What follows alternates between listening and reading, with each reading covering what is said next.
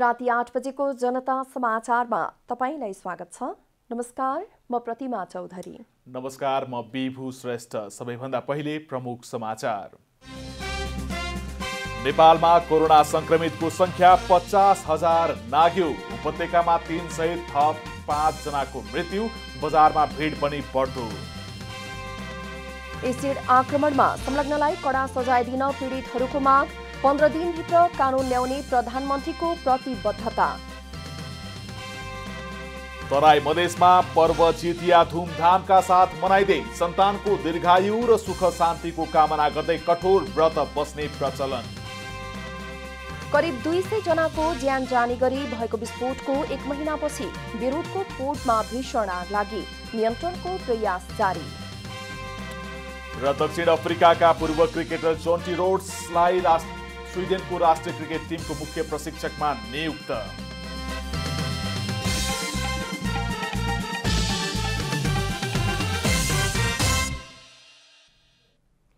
अब पुरा समाचार। कोरोना भाइरसबाट नेपालमा थप पाँचजनाको मृत्यु भएको छ। स्वास्थ्य तथा जनसङ्ख्या मन्त्रालयका अनुसार एक महिला र चार पुरुषको कोरोनाबाट मृत्यु भएको हो। काठमाडौँमा मात्रै एक महिलासहित तीनजनाको मृत्यु भएको मन्त्रालयका प्रवक्ता डाक्टर जागेश्वर गौतमले बताउनुभयो। काठमाडौँमा पचपन्न वर्षीय महिला उनासाठी र त्रियासी वर्षीय पुरुषको कोरोनाबाट मृत्यु भएको छ। यस्तै चितवनमा बैसठी वर्षीय पुरुष र कपिल वस्तुमा उन्तिस वर्षीय पुरुषको मृत्यु भएको छ। यो सँगै नेपालमा कोरोनाबाट मृत्यु हुनेको संख्या तीन सय सत्र पुगेको छ। नेपालमा कोरोना भाइरस संक्रमितको संख्या पचास हजार नाघेको छ। आज थप एक हजार दुई सय छियालिसजनामा संक्रमण पुष्टि भएसँगै कुल संक्रमितको संख्या पचास हजार चार सय पैँसठी पुगेको छ। काठमाडौँमा मात्रै आज चार सय पन्चानब्बे ललितपुरमा त्रिचालिस र भक्तपुरमा चौतिसजनामा संक्रमण देखिएको छ।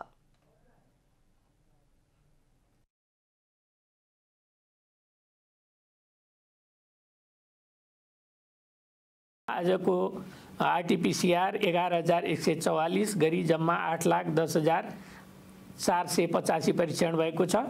गत चौबिस घन्टामा नयाँ सङ्क्रमितको सङ्ख्या बाह्र सय छयालिस रहेको छ। क्वारेन्टिनमा रहनुभएका व्यक्तिहरूको सङ्ख्या पाँच हजार आठ सय छ छ। आज देशभरि सक्रिय संक्रमितको संख्या चौध हजार चार सय अडचालिसजना रहेको छ। यस्तै देशभरि छ हजार चार सय अडतिसजना संक्रमित होम आइसोलेसनमा रहेका छन्। आज आइसियुमा एक सय पैँसठीजना भेन्टिलेटरमा एक्काइसजना संक्रमित उपचाररत छन्। आजसम्म पैँतिस हजार सात सयजना संक्रमित निको भएर घर फर्किएको मन्त्रालयले जनाएको छ। यसैबीच मन्त्रालयले विदेशबाट आउने एक जिल्लाबाट अर्को जिल्लामा आवत जावत गर्दा आफ्नै घर र खर्चमा चौध दिन अनिवार्य क्वारेन्टिनमा बस्नुपर्ने नियम बनाएको छ। चौध दिनमा कुनै लक्षण नदेखिएमा परीक्षणको आवश्यकता नपर्ने मन्त्रालयले जनाएको छ। यस्तै विदेशबाट आउँदा एकहत्तर घण्टा अघि पिसिआर परीक्षण गरेको रिपोर्टलाई आधार मान्ने निर्णय पनि मन्त्रालयले गरेको छ। मन्त्रालयले पिसिआर रिपोर्ट नभई आपतकालीन शलिक्रिया नगर्ने स्वास्थ्य संस्था र चिकित्सकलाई कानून अनुसार कारवाही गर्ने चेतावनी समेत दिएको छ। काठमाडौँ उपत्यकामा निषेधाज्ञा खुकुलो भएसँगै भीडभाड बढेको छ। उपत्यकाका तीनवटै जिल्ला प्रशासन कार्यालयले बुधबार मध्यरातदेखि निषेधाज्ञाको मोडालिटी परिवर्तन गरी खुकुलो बनाएसँगै आज भीडभाड बढेको हो। उपत्यकाको Shaheed gate, New Road, Basantapur, Asan, Durbar Marg लगायतका क्षेत्रमा भीडभाड छ। निषेधाज्ञा खुकुलो भएसँगै पसल व्यवसाय सञ्चालनमा आएका छन्। त्यस्तै निजी क्षेत्रका कार्यालयहरू पनि खुलेका छन्। सडकमा निजी र सार्वजनिक यातायात दुवै चलेका छन्। जसले गर्दा उपत्यकाका मुख्य सडकमा सवारी चाप बढेको छ। मानिसहरूको आवागमन पनि बढी देखिन्छ। उपत्यकाका तीनवटै जिल्लाका प्रशासन कार्यालयले भदौ तीन गते मध्यरातदेखि निषेधाज्ञा जारी गरेका थिए। तीनवटै जिल्लाका प्रमुख जिल्ला अधिकारीहरूको बुधबारको बैठकले भदौ एकतिस गतेसम्म निषेधाज्ञा जारी राख्दै केही सेवा क्षेत्र सञ्चालन गर्न दिने निर्णय गरेको थियो। एसिड आक्रमणमा परेका पीडितहरूले एसिड आक्रमणमा संलग्न व्यक्तिहरूलाई कडा कानून बनाएर सजाय दिनुपर्ने बताएका छन्। प्रधानमन्त्री निवास बालुवाटारमा प्रधानमन्त्री केपी शर्मा ओली लगायत सरोकारवालाहरूसँगको अन्तर्क्रियामा पीडितहरूले आक्रमणमा संलग्न व्यक्तिहरूलाई कडा कार्यवाही गर्ने कानून बनाउन आग्रह गरेका हुन्। पीडितहरू आफ्नो पीडा लुकाएर बसिरहेको अवस्थामा अहिले पनि पीडकहरू खुलेआम हिँडिरहेको भन्दै पीडितहरूले कडा कानूनी व्यवस्था हुनुपर्ने बताएका छन्।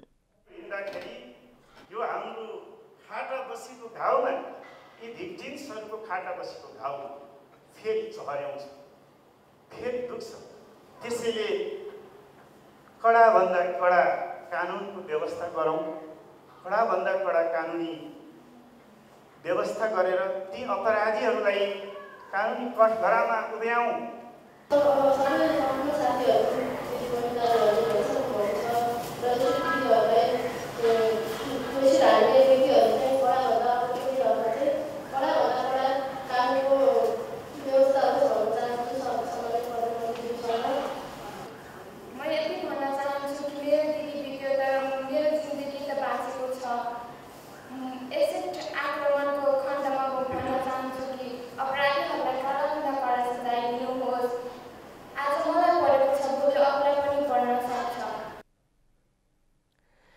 यसैबीच सरकारले एसिड आक्रमणका घटनालाई नियमन गर्न अध्यादेश मार्फत कानून ल्याउने भएको छ।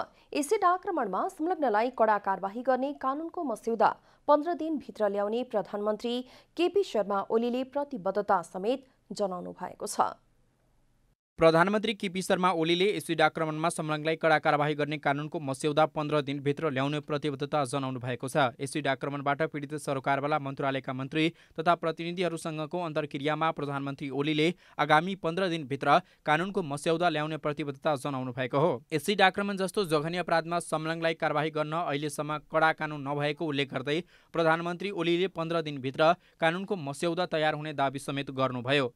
कोरोना महामारीका कारण संसदबाट कानुन ल्याउन समय लाग्ने भएकोले अध्यादेश मार्फत मस्यौदा तयार गरिने उहाँको भनाइ छ।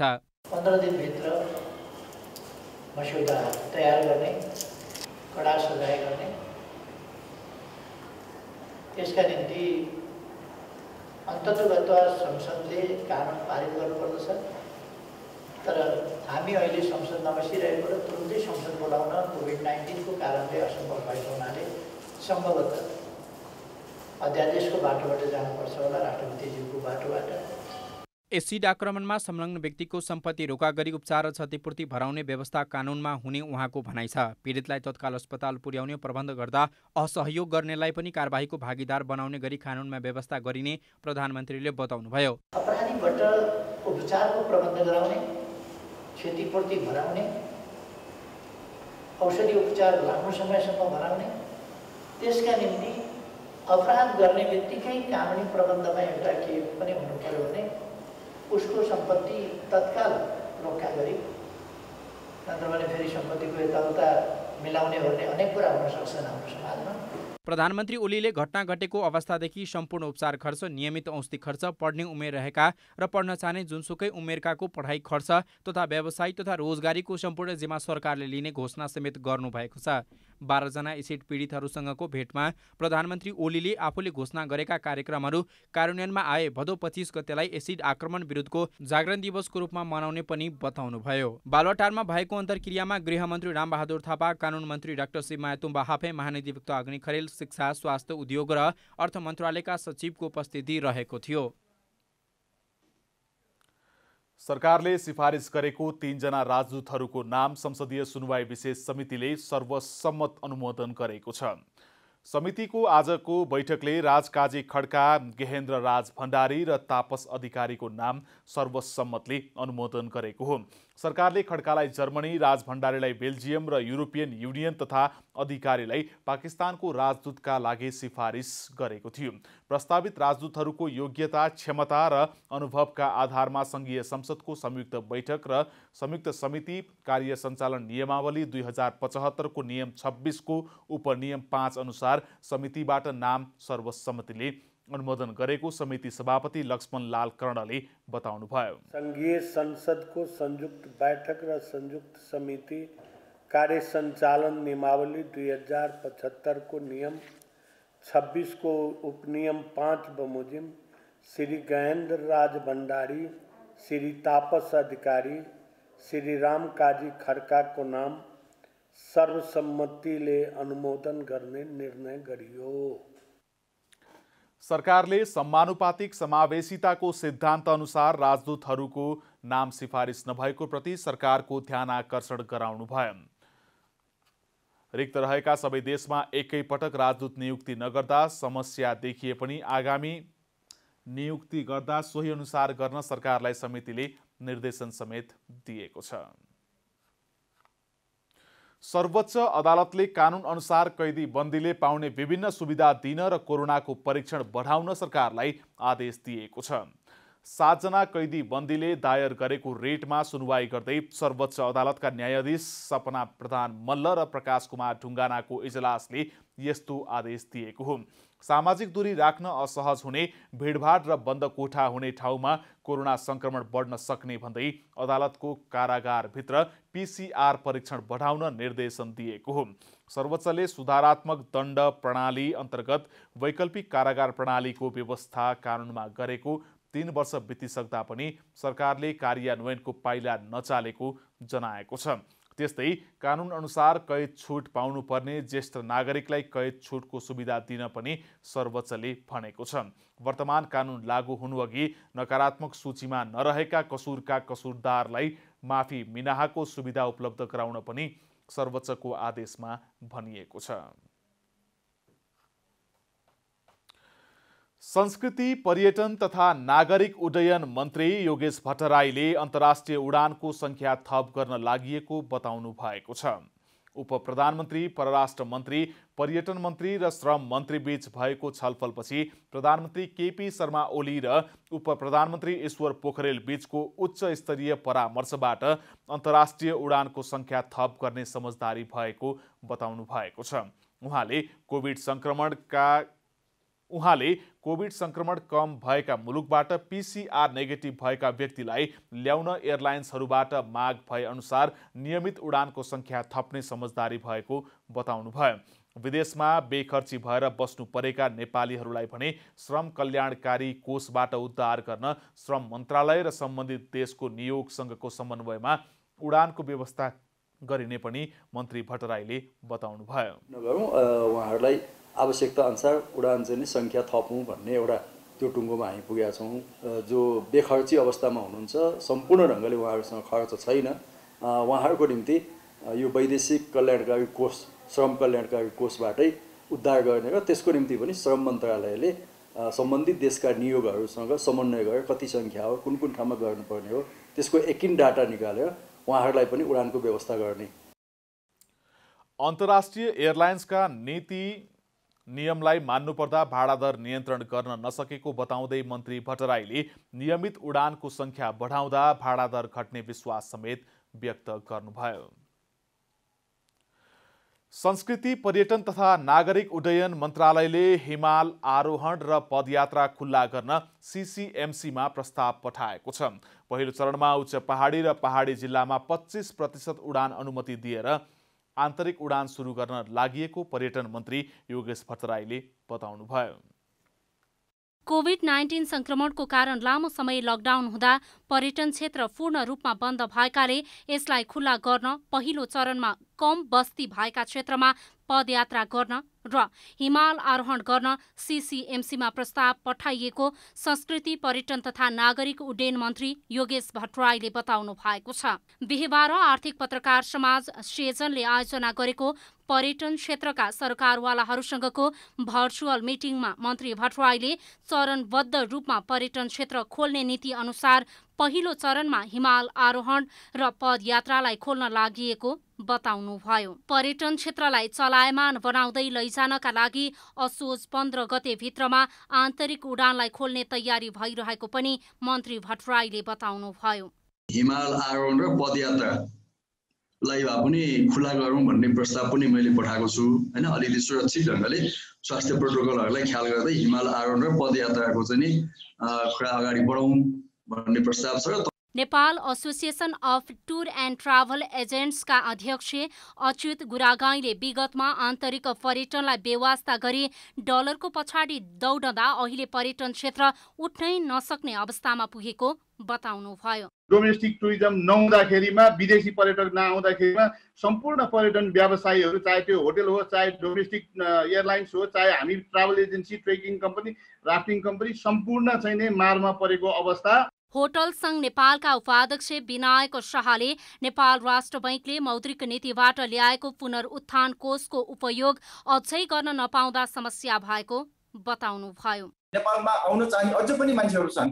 हाम्रो जहाँ बस्ती छैन जहाँ ट्रेकिङ जहाँ माउन्टेनियरिङ गर्न जाने जहाँ बस्ती नै छैन त्यो बस्ती नभएको ठाउँमा त हामीले प्रोटोकल पालना गरेर हामी जान हामी पठाउन सक्छौँ नि। केही मात्रामा मैले धेरै भने होइन केही मात्रामा ताकि हामीलाई पनि केही त केही त गर्न पाउने केही त गरेँ भन्ने एउटा हामीलाई पनि एउटा साइकोलोजिकल मनोवैज्ञानिक पनि एउटा केही गरेँ भन्ने हुन्छ नि। अहिले त? नत्र केही गर्न नपाउने घरमै बस्ने। नेपालको पर्यटन क्षेत्रमा करिब पन्ध्र खर्ब रुपैयाँ लगानी रहेको छ। झण्डै दस लाख मानिसहरूले रोजगारी पाएका छन्।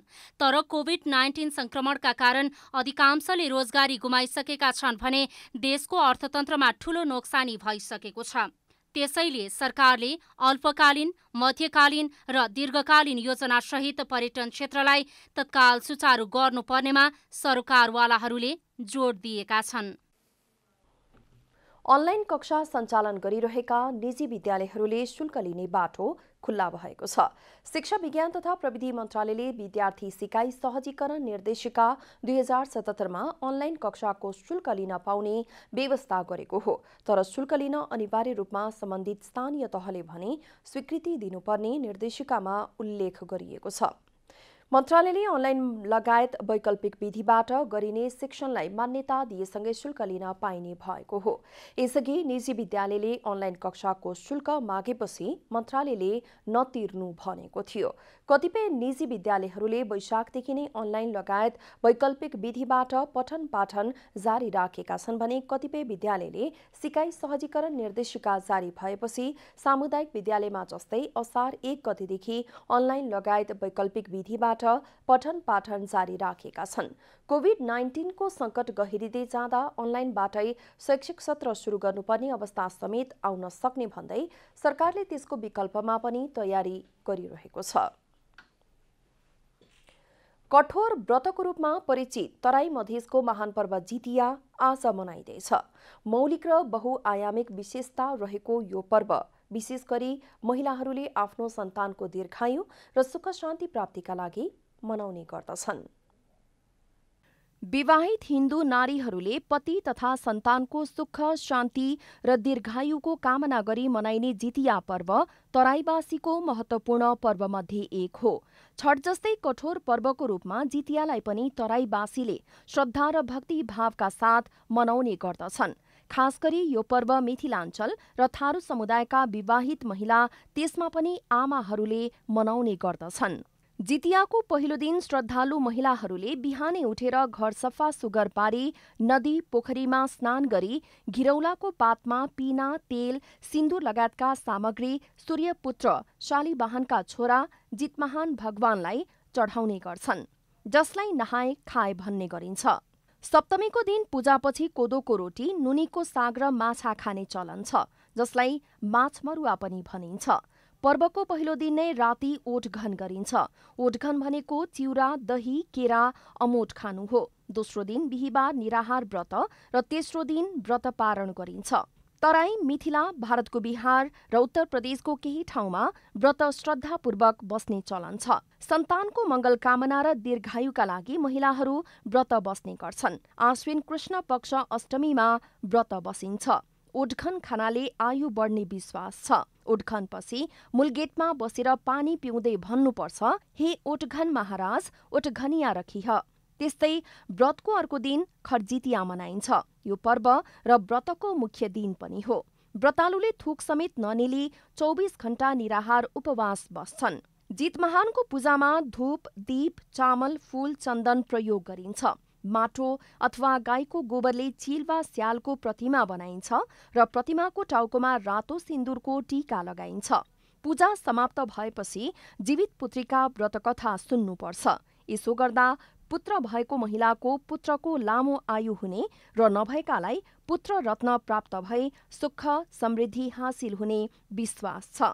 साथै कुनै दुर्घटना वा अनिष्ट हुनबाट पनि जोगाउँछ भन्ने विश्वास छ। जितियालाई जिउती व्रत पनि भन्ने गरिन्छ। पर्वको मुख्य काम डाली भर्नु पनि हो। डाली भर्न काँक्रो नरिवल बाँसको पात जियल पात सरिफाको पात आँखकर जनै सुपारी डालीमा राखिन्छ। व्रतको तेस्रो दिन ब्राह्मणलाई दान गरेपछि खाने चलन छ। व्रत पारण गर्दा भात नुनीको साग र कोदोको रोटीलाई पहिले खाने चलन छ। यस अवसरमा तराईको विभिन्न स्थानमा जितमहान भगवानको माटोको प्रतिमा बनाई पूजा गर्ने चलन समेत छ। व्रतालुहरूले जितमहान भगवानको मेला समेत भर्ने गर्दछन्।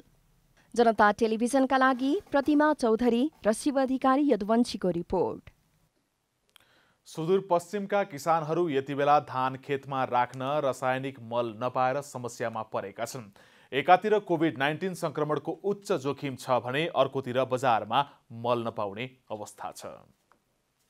धान बालीमा प्रयोग हुने रासायनिक मल नपाउँदा सुदूरपश्चिमका किसानहरू मर्कामा परेका छन्। धानमा मल हाल्ने समय हुँदा मलको जोहो गर्न किसानहरूलाई शास्ति छ। एकातिर कोरोना भाइरस संक्रमणको जोखिम अर्कोतिर धानमा प्रयोग गर्न मल नपाउँदाको चिन्ताले किसानहरू जोखिम मोलेर भए पनि मल खरिद गर्न भौतारिनु पर्ने बाध्यता छ।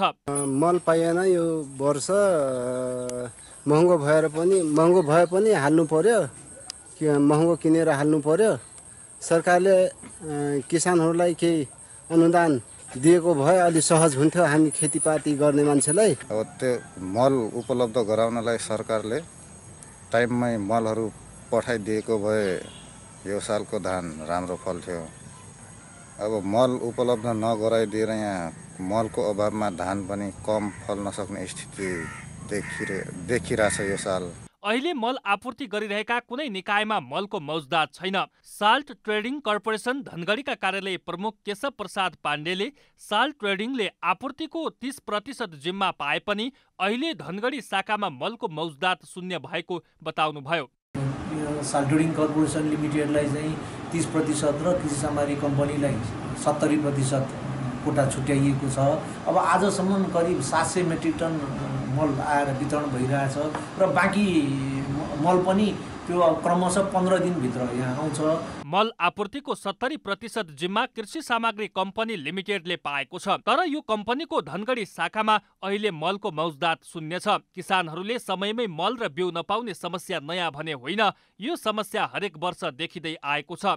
सुदूरपश्चिम प्रदेशको भूमि व्यवस्था कृषि तथा सहकारी मन्त्रालयका अनुसार कोभिड नाइन्टिन संक्रमणको प्रतिकूल समयका बावजुद पनि मलको आपूर्तिलाई सहज बनाउन प्रभावकारी काम भइरहेको छ। एउटा लकडाउनको कारणले पनि अन्य मल भन्दा पनि युरियाहरू केही मात्रामा आउन सकेका थिएन तर अहिले पनि मलहरू आइराखेको छ होइन? किसानले लिइराखेका छन्। हामीले जस्तै मानौँ बिना अनुदानको मलहरू जुन छ नि त अब त्यो मल पनि किसानले रुचाइराखेका छन् गरिराखेका छन्। त्यसमा चाहिँ केही सब्सिडीहरू केही अनुदान दिने भनेर प्रदेश सरकारले हामी बजेटको व्यवस्था गरेका छौँ। मल आपूर्ति गरिरहेको कृषि सामग्री कम्पनी र साल्ट ट्रेडिङ कर्पोरेसनसँग अहिले पोटास बाहेक अन्य मल उपलब्ध छैन। डिएपी मल न्यून मात्रामा पाइए पनि युरिया मलको अभाव छ।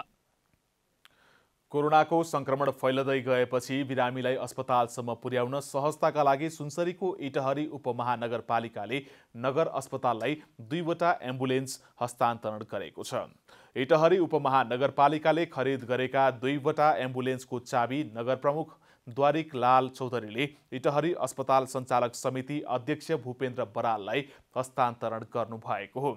इटहरीको स्वास्थ्य सेवालाई सहज बनाउँदै कोरोना सङ्क्रमितलाई स्वास्थ्य चौकीसम्म पुर्याउन अन्य सवारी साधनले नमान्ने भएपछि नगरको एम्बुलेन्सबाट सेवा प्रदान गर्न सकिने भएको छ।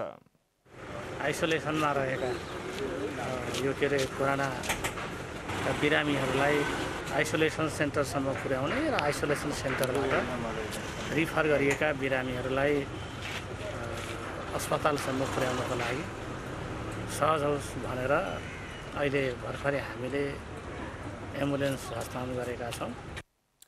आवश्यक प्रक्रिया पुरा गरेर एम्बुलेन्स चाँडै प्रयोगमा ल्याइने भएको छ। स्थानीयलाई सस्तो मूल्य लिएर एम्बुलेन्स सञ्चालन गरिने इटहरी अस्पतालले जनाएको छ। अब आर्थिक समाचार।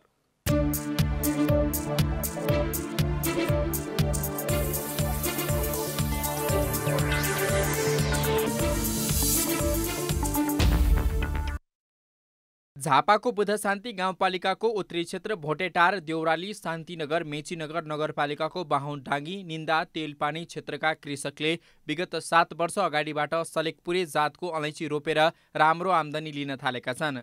धान मकै गहुँको तुलनामा कम मेहनत गर्नुपर्ने र आम्दानी पनि धेरै हुने भएकोले अलैँची खेती गर्न थालेको स्थानीयको भनाइ छ।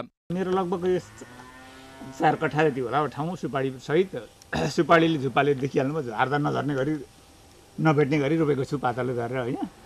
मैले पोहोरको साल छयालिस किलो भएको थियो सुक्खा। अहिले चाहिँ अनुपातमा हो भने अलिक धेरै हुनुपर्ने हो। पोहोरभन्दा अलिक राम्रो फलेको छ। राम्रो फलेको छ। भित्र टिपेर राखिएको छ टिपिसकेकै पनि छैन। अब खोइ हामीले रोपेको भइरहेछ। यता उँदो उँदो पनि रोपिरहेछन्। फलाउँदैछन् अलिअलि। तीन मन धान उत्पादन हुने गरेको खेतमा बिस केजी सुक्खा अलैँची फलेको स्थानीयको भनाइ छ। कुनै समय एक लाख रुपियाँ प्रति मन पुगेको अलैँचीको मूल्य अहिले पच्चिस हजार रुपियाँ मात्रै छ तर पच्चिस हजार रुपियाँ प्रति मन बिक्री भए पनि धानको तुलनामा अलैँचीले राम्रो आम्दानी हुने गरेको कृषकको दावी छ। एक हजारको बिरुवा ल्याएर मैले यहाँ झकाएर रोपेको।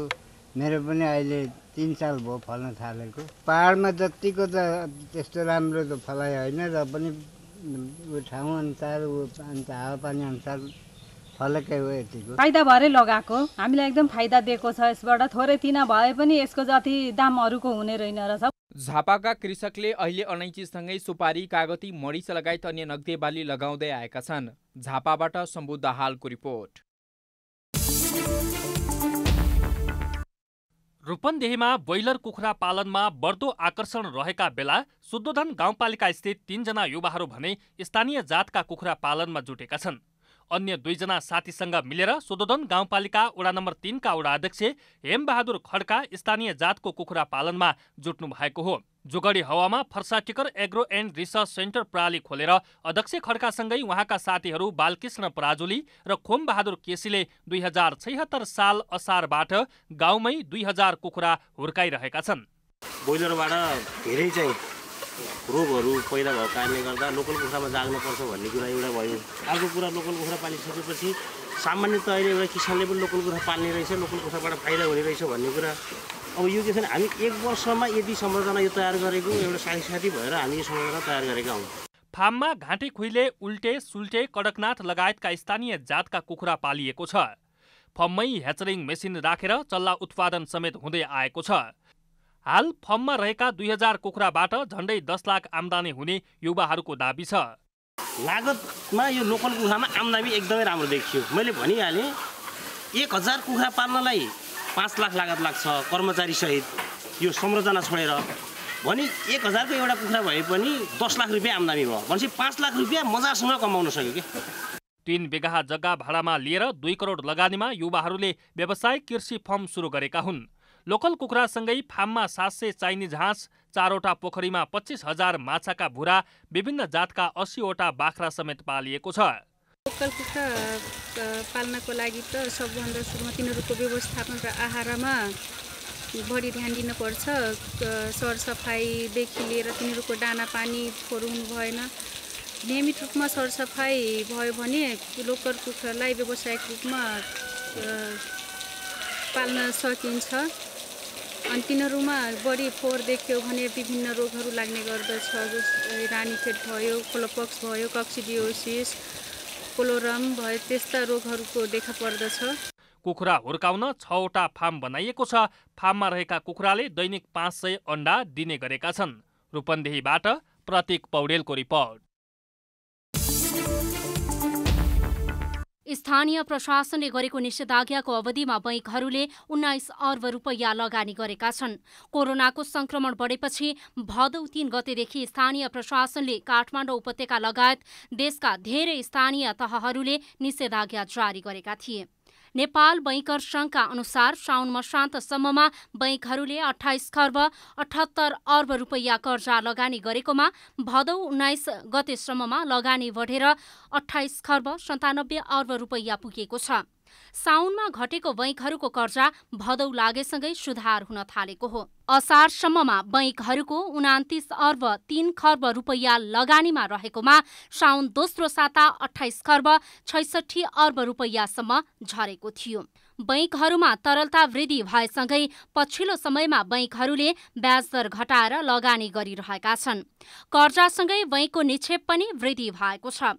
असार अन्तिममा बैङ्कहरूसँग तेत्तिस खर्ब बैसठी अर्ब रुपैयाँ निक्षेप रहेकोमा साउन पहिलो साता घटेर तेत्तिस खर्ब चौवालिस अर्ब रुपैयाँ झरेको थियो। त्यसपछि पुनः वृद्धि हुँदै भदौ तेस्रो सातासम्ममा तेत्तिस खर्ब तिरासी अर्ब रुपैयाँ पुगेको हो।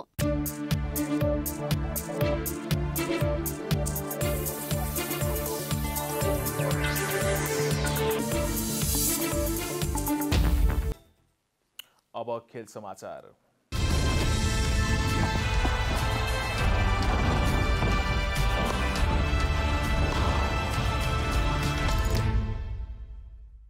नेपाल क्रिकेट सङ्घ क्यानले नेपाली राष्ट्रिय क्रिकेट टिमका बाइसजना खेलाडी र टेक्निकल एनालिस्टलाई सन् दुई हजार उन्नाइसको तलब दिएको औपचारिक जानकारी गराएको छ। अघिल्लो साता आइसिसीले क्यानको खातामा पैसा पठाएपछि क्यानले सबै खेलाडी र एक एनालिस्टको खातामा पैसा जम्मा गरेर सकेको बिहिबार औपचारिक रूपमा जनाएको हो। औपचारिक रूपमा राष्ट्रिय क्रिकेट टिमका खेलाडीहरूको तलब ब्याङ्क खातामा जम्मा गर्ने काम सकिएको क्यानले विज्ञप्ति मार्फत जानकारी दियो। बिहिबार क्यानले एक विज्ञप्ति जारी गर्दै खेलाडीहरूको तलब सम्बन्धित सबै खेलाडीको खातामा जम्मा गरिसकेको जनाएको हो। ए श्रेणीका खेलाडीले जनही मासिक पैँतालिस हजारको दरले बाह्र महिनाको पाँच लाख चालिस हजार पाउनु पर्नेमा कर काटेर पाँच लाख पच्चिस हजार दुई सय रुपियाँ प्राप्त गरेका छन्। यस्तै बी श्रेणीको खेलाडीले जनही मासिक पैँतिस हजारको दरले बाह्र महिनाको चार लाख बिस हजार पाउनु पर्नेमा कर काटेर चार लाख चौध हजार रुपियाँ हात पारे भने सी श्रेणीका खेलाडीहरूले जनही मासिक पच्चिस हजारको दरले बाह्र महिनाको कर काटेर दुई लाख सन्तानब्बे हजार रुपियाँ प्राप्त गरेका छन्। दक्षिण अफ्रिकाका पूर्व क्रिकेटर जोन्टी रोड्स स्विडेन राष्ट्रिय क्रिकेट टिमका मुख्य प्रशिक्षक नियुक्त भएका छन्। स्विडेन क्रिकेट सङ्घले बिहिबार एक विज्ञप्ति जारी गर्दै जोन्टी रोड्सलाई मुख्य प्रशिक्षक नियुक्त गरेको घोषणा गरेको हो। रोड्स हाल आइपिएलको सिलसिलामा दुबाईमा छन् र किङ्स इलेभेन पन्जाबका फिल्डिङ कोचको रूपमा कार्यरत छन्। जुनियर क्रिकेटमा लगानी गर्ने र क्रिकेटको बृहत्तर योजना बनाउन दक्षिण अफ्रिकाका महान क्रिकेटर जोन्टी रोड्सलाई मुख्य प्रशिक्षकको रूपमा नियुक्त गरेको सङ्घले विज्ञप्तिमा जनाएको छ। मुख्य प्रशिक्षक नियुक्त भएपछि रोड्सले आफू नयाँ चुनौतीका लागि तयार भएको बताएका छन्। अस्ट्रेलिया विरुद्धको तीन खेलको royal London one day international सिरिजका लागि इङ्ल्यान्डले टोली घोषणा गरेको छ। घरेलु टोलीले पाहुना टोली अस्ट्रेलिया विरुद्ध हुने सिरिजका लागि चौध सदस्यीय टोली बिहिबार घोषणा गरेको हो। घोषित टोलीमा यसअघि अस्ट्रेलिया विरुद्ध दोस्रो टी ट्वेन्टी सिरिज पश्चात पारिवारिक कारणले टिमबाट बाहिरिएका जेसन रोय फर्किएका छन्। यस्तै टी ट्वेन्टीमा उत्कृष्ट प्रदर्शन गरेका डेभिड मलानलाई पनि वैकल्पिक खेलाडीको रूपमा समावेश गरिएको छ। यसअघि प्रारम्भिक टोलीमा रहेका डेनलीलाई भने टिमबाट हटाइएको छ। अस्ट्रेलिया र इङ्ल्यान्ड बीचको one day international series September एघारबाट सुरु हुनेछ।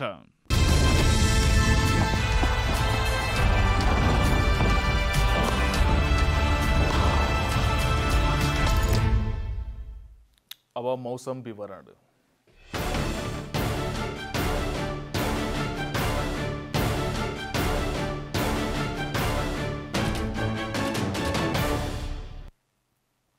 आज राति देशभर सामान्यतया बदलिरही केही स्थानहरूमा मेघगर्जन र चट्याङ सहित वर्षाको सम्भावना रहेको छ।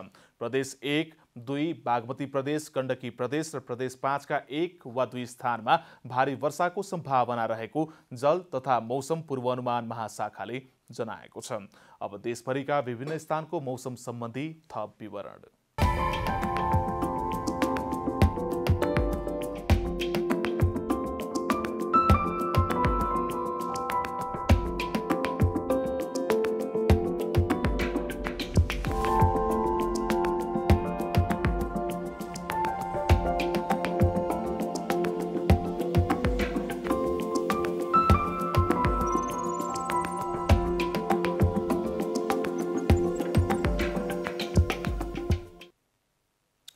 अन्त्यमा आजको डायरी।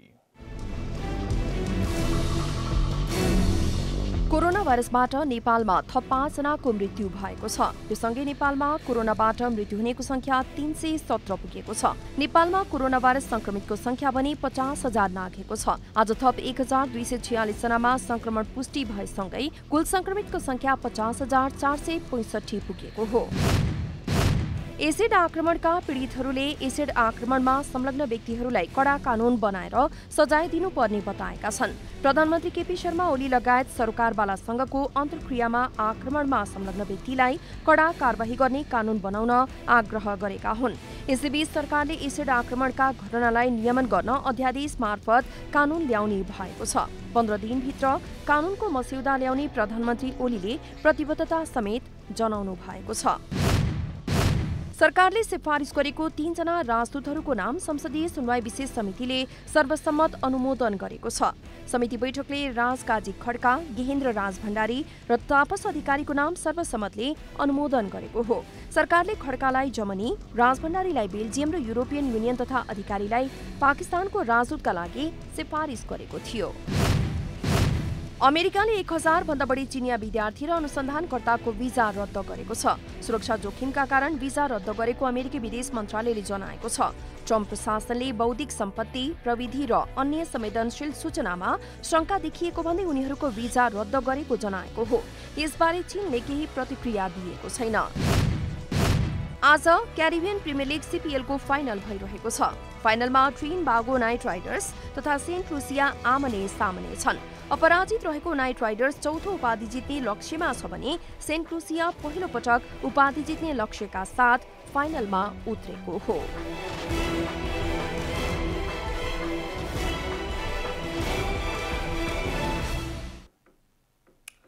जनता समाचार अहिलेलाई यति नै।